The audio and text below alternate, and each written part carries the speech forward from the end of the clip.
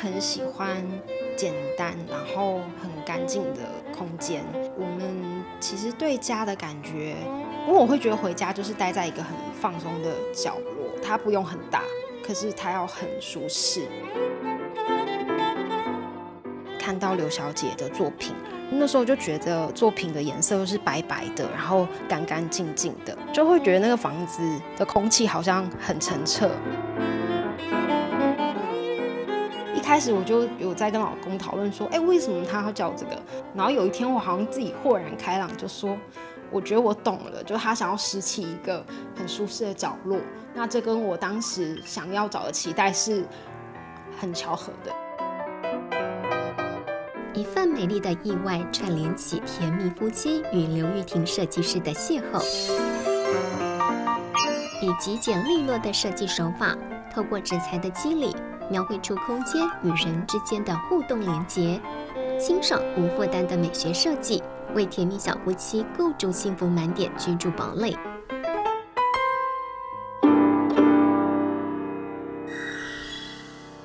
屋主是一对年轻的夫妻，那这是他们的新婚宅。跟他们接触的时候，发现太太喜欢简单明亮的北欧。然后先生则喜欢轻工业风，所以我希望能结合他们的喜好，然后做出一个北欧又带有轻工业元素的空间。空间上是比较以白色、浅色木纹、淡蓝色去带出整个空间的感觉。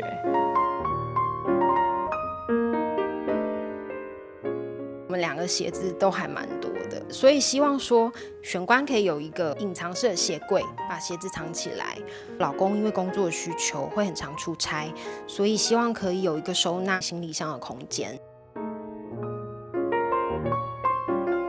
原来的格局是没有玄关的部分，所以用了隔屏来划分玄关及仓储的空间，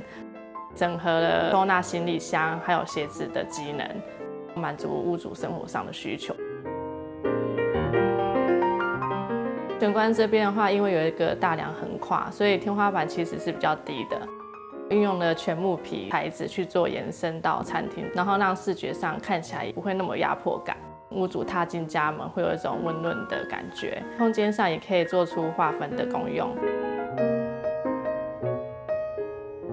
做了系统柜整体的设计，一直延伸到电视墙面。用仿清水膜涂料去做铺塑，让它带入一些工业风的元素，也是男屋主喜欢的风格。再搭配简单的柜体，整个电视墙比较开阔的，然后比较清爽。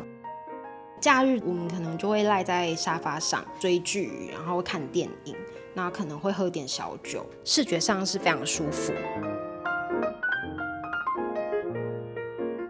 我自己喜欢弹琴，然后还有写歌。当时也很希望说，我可以拥有一个工作的书房空间。这个部分就讨论很久。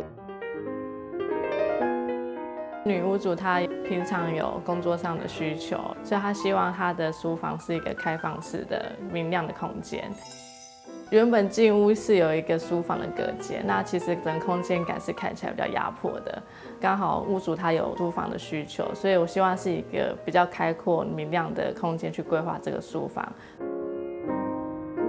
把这个隔间拿掉，整个空间感是开阔的，也算是让整个两面窗的采光可以从同一侧的窗户打进来。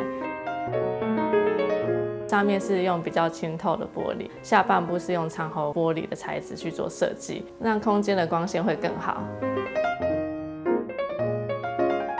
我在工作的时候会有很多的线材要收纳，这部分刘小姐就帮我设计一个书桌，是可以把我的线都藏起来，让桌面还是很整洁。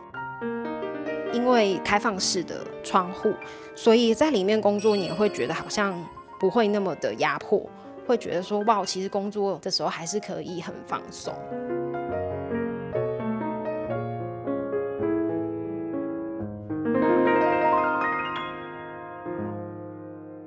我们最常一起做的事情，应该是一起吃饭，坐在餐桌上一起交流，然后一起用餐，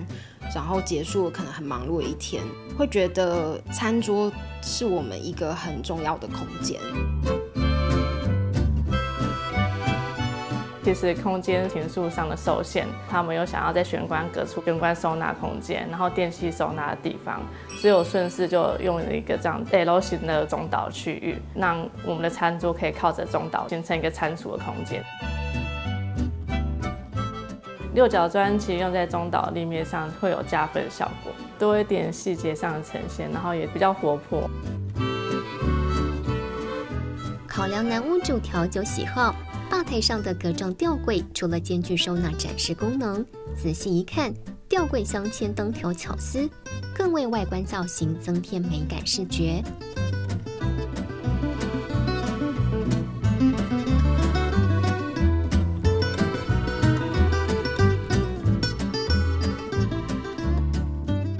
我觉得就还蛮感动的，因为这算是我们第一个一起的家。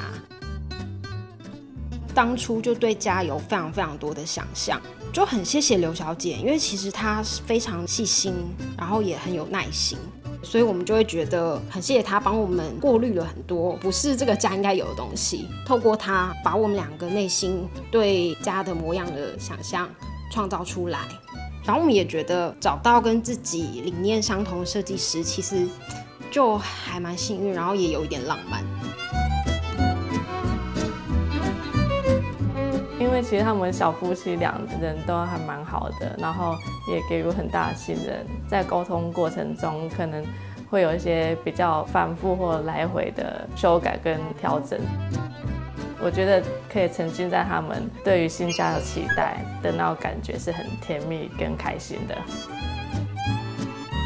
家是一个幸福的起点，是一个温暖的港湾。在每一个绞尽脑汁的时刻，刘玉婷设计师都能精准掌握小夫妻对家的渴望，在拾起幸福的一隅同时，让和煦的暖阳流窜室内，构筑起小夫妻梦想中最甜美幸福的北欧居宅。